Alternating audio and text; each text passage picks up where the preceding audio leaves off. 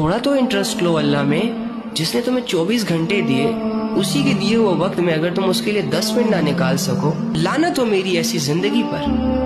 आप माने या ना माने, लेकिन हम भूल चुके हैं अपने अल्लाह को। आप माने या ना माने, हम हमारी जिंदगियों में अल्लाह मैटर नहीं कर रहा। हम कहते हैं, हम गुनाह नहीं छोड़ सकते, बेहयाई नहीं छोड़ सकते, ये नहीं कर सकते, वो नहीं कर सकते। अल्लाह के बंदो ऐसे भी लोग इस दुनिया से गए हैं यार, जिन्होंने अपनी औलादे अल्लाह के लिए कुर्बान की है, जिन्होंने अपनी जाने अल्लाह के लिए दी है, जिन्होंने अपना माल अल्लाह के लिए दिया है, जिन्होंने अपने मिजाजों को तब्दील किया अल्लाह के लिए, अपनी आदतों को अल्लाह के लिए तब्दील किया है। हम बोने बने हुए हैं। लड़कियों के लिए खुद को चेंज कर सकते हैं। लड़कों के लिए अपनी आदतें छोड़ सकते हैं। जब बात अल्लाह की आएगी, हम कहेंगे हमसे कुछ नहीं होता। खुदा का वास्ता है यार। हम लोग कोई बच्चे तो नहीं है कि एक बात दस दस दफ़ा समझाई जाएगी, तब जाके हमें समझ आएगी। जब एक बात हमारे सामने आती है किसी के ज़रिए से, और अगर हमें वो समझ आ जाए तो हमें भी ये चाहिए ना कि फिर अपनी ज़िंदगी बदल दें।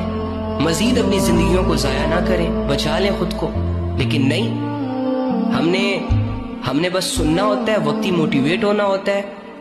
और कल से फिर हमने वही सब कुछ करना होता है जिसकी हमें आदतें होती हैं।